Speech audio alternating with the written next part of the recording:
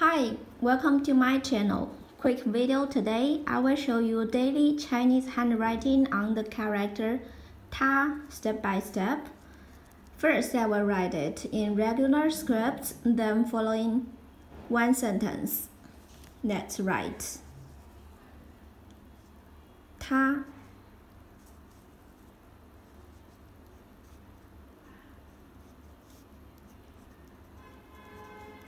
means it. For example, take it to the bedroom.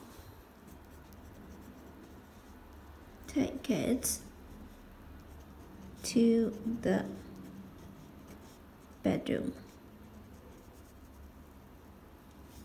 把它拿到卧室去。把它拿到卧室。 Bedroom 去。Take it to 把它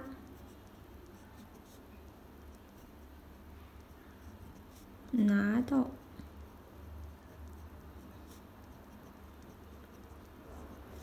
卧室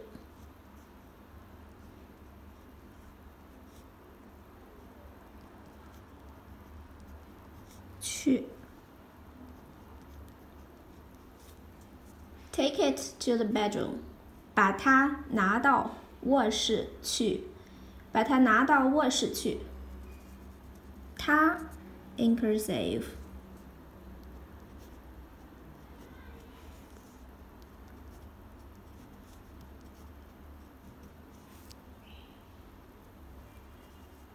他，it，take it to the bedroom，把它拿到卧室去。Okay, please comment any sentence with ta. I hope you find this video helpful.